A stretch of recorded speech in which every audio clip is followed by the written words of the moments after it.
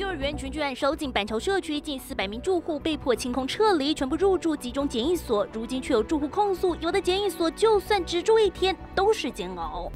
房间内没有特殊装潢，有的是不牢固的铁床，一旁蚊帐架像极了点滴架。住户怒批这根本就像病床，实在很晦气。原来有住户被送到宜兰检疫所，不止房间简陋，枕头泛黄，床上还布满虫尸，屋内没有衣柜，只有生锈衣架可以使用。极简行军风，竟要在这待十四天，又够刻苦。废弃的均匀改建的检疫所。房间都是很简陋嘛，床看起来也是非常的难睡。我们也是被送到边被关十四天。如何的去分配哈，就是按照当时空房的状况去做分配。有的住户无奈被迫走行军风，也有人隔离前被通知会入住旅馆式的检疫所，实际上却住进宿舍改建的检疫所。发现哎，第一个没有床单，然后再加上床很床是很硬的，就顶着你的骨头那样子。其实是非常不舒服，比如说桌子啊、柜子上啊，或是衣柜里，确实都还是有灰，还蛮不愉快的。遇到这种环